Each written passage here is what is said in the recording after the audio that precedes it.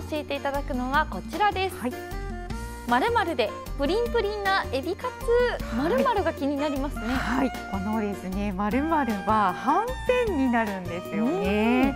はんぺんの柔らかさや食感をプラスしたプリンプリンなエビカツ。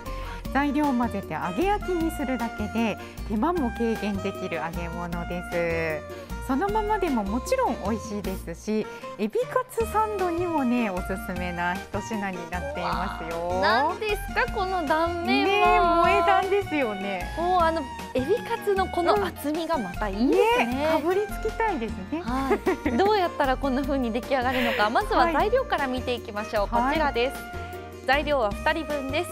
エビは小に 200g はんぺん1枚 90g 片栗粉大さじ1塩と白胡椒が少々。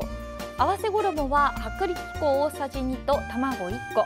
パン粉は適量。揚げ油は 50g となっています、はい、油も少ないんですね、とても少ないですね。それではよろしくお願いします、はい、作っていきます。お願いします、はいまずですね、エビの下ごしらえをしていきます、うん、エビは殻を剥いていただいて背わたを取り除いたら賞味で 200g 用意します、はい。分量外の片栗粉と塩をよく揉み込んだら5分ほど置いて洗って汚れや臭みを取ってですねしっかり水気をね切っておいてください、はい、なんかねちょっとお風呂に入って色白さんになったエビですね、はい、プリプリなのがもう伝わってますね。ねつやつやしてますよね、はい。そしてですねエビは包丁でこのように粗く刻んでいただいてですね、ボウルに入れておきます。はい。で今日のポイントであるはんぺんですけれども、うんうん、こちらはですね袋の上からもうちょっとね揉みつぶしてあげると、あの潰れやすくってね後で成形もしやすくなります。うんなんか子供と一緒にやっても楽しそうですね。そうですね、うん、なんかちょっと粘土遊びみたいでね楽しいと思いますよ。である程度揉んでいただいたらですね、はいちらのエビとね一緒に合わせていきますね。はい。そしてこちらにですね片栗粉が入ります。片栗粉大さじ1と、はい、塩と胡椒を少々ね加えて味をつけていきますね。うんうん。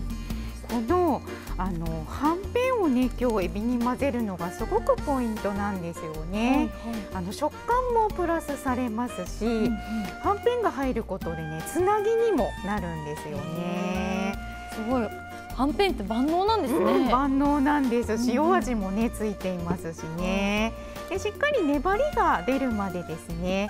あのこねてあげてください。あっという間にこう一体になってきましたね、うん、そうなんですよ。すぐねまとまってくれます、はい、これをですね6等分に分けていただいて、うん、手水をしながら楕円形に成形します、はい、で合わせ衣にくぐらせていただいて、えー、パン粉漬けをしてですね、うん、えー、このように6等分にですね成形をしてパン粉漬けをしておきます。綺麗に出来上がりましたね、うん、はい。